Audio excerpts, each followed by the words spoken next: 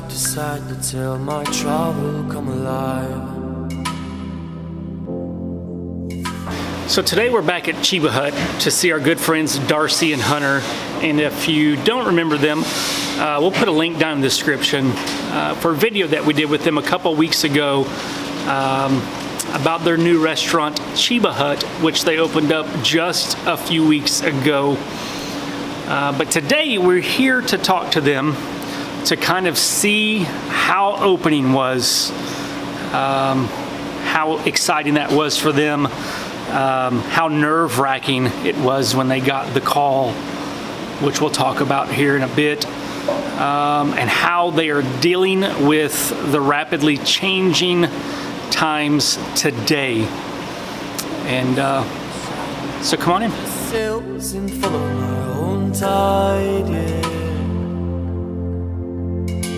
Yeah. There's a screaming in there that telling me to leave for a while. So for the first time I trust him right on now I'm gonna ride my own line. I wanna escape and restart all.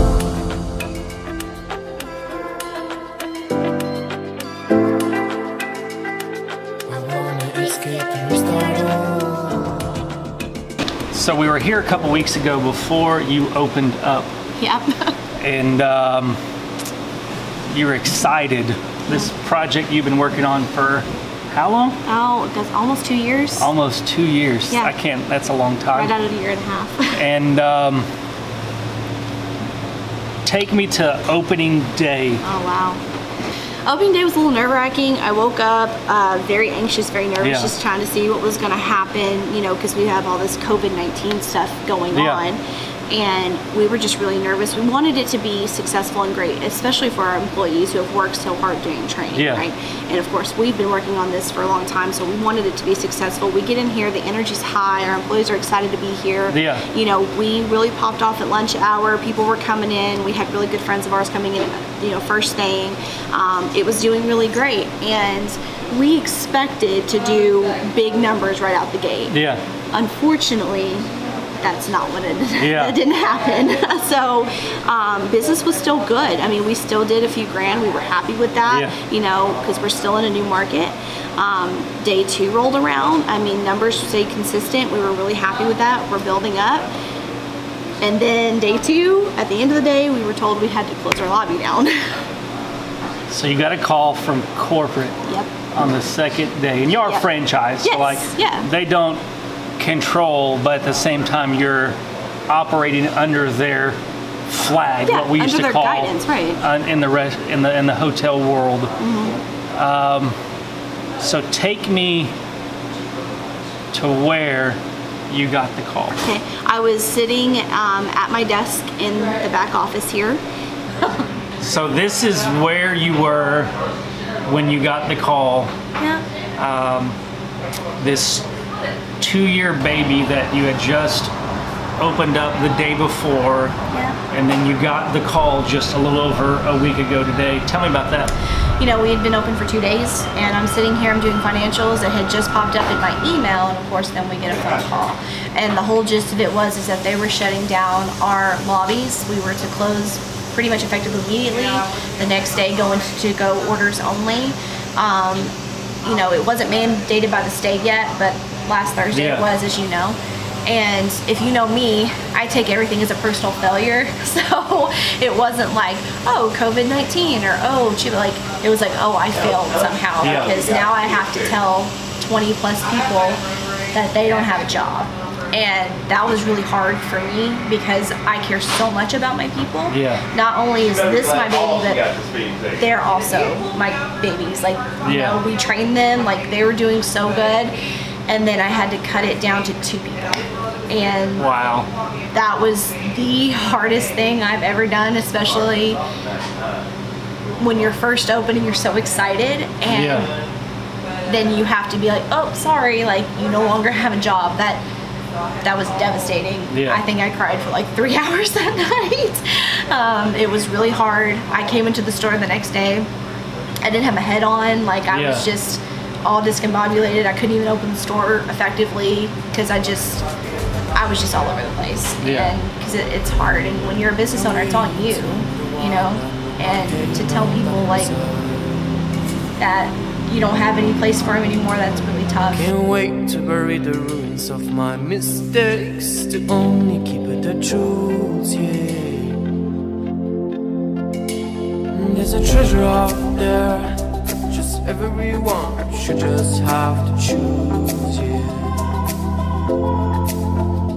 Here it is a wisdom I must say Is that of my freedom of mind. Was born away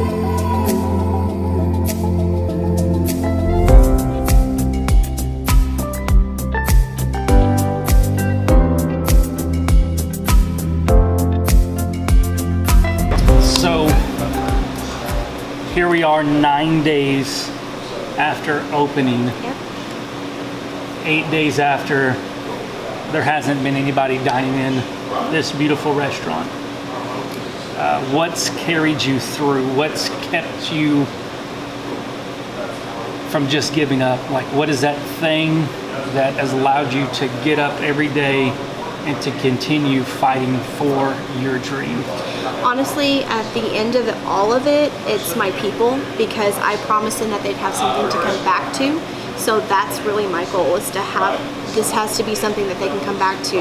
I've had several of them reach out to me and tell me that they miss us and that Yeah. they love us and um, they're they're grateful for us and you know they they want to come home. They keep saying they want to come home, they want to come back, they Yeah. want to come back, and they have to have something to come back to. So that's what I've been working towards is making sure they have something to come back to. That's what's kept me going, basically. Yeah. So that's been your fuel Yeah, in your gas tank. yeah, I remember you've shared with me several messages that you've gotten from your Yeah. people, and you're like, "This is my dream. yeah. I'm living my dream." These are my people. Yeah, Yeah. So in the midst of all of this chaos in the world of uncertainty, you're still living your dream. yeah.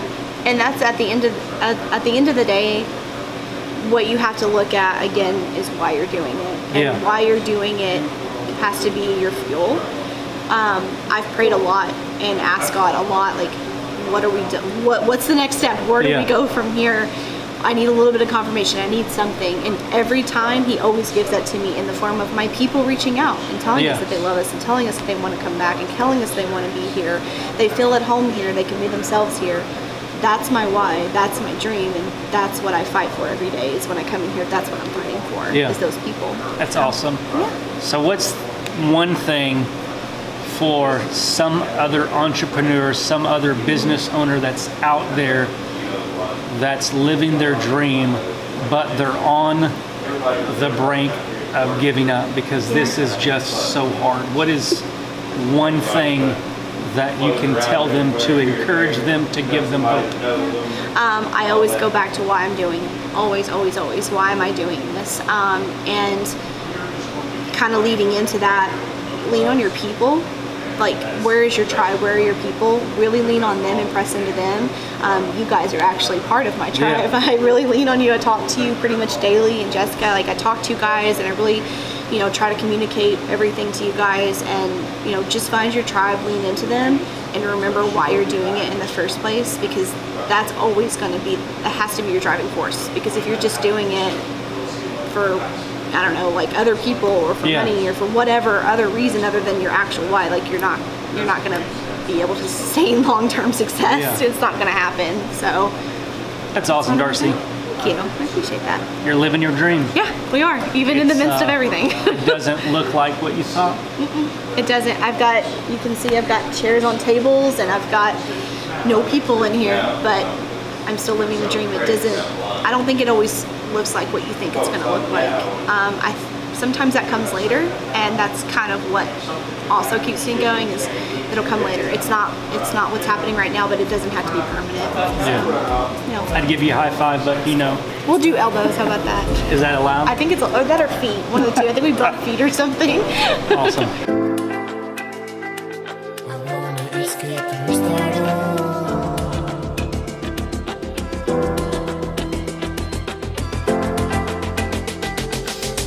I wanna escape to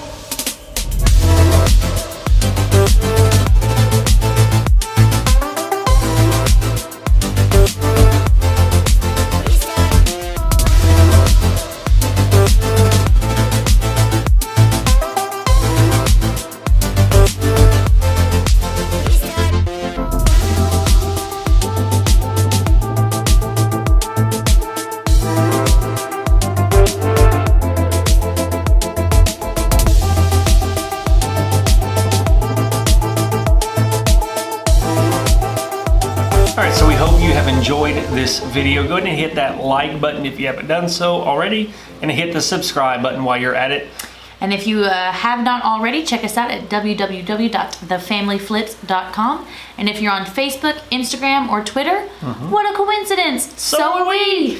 Links down in the description for those. Until next time, Peace.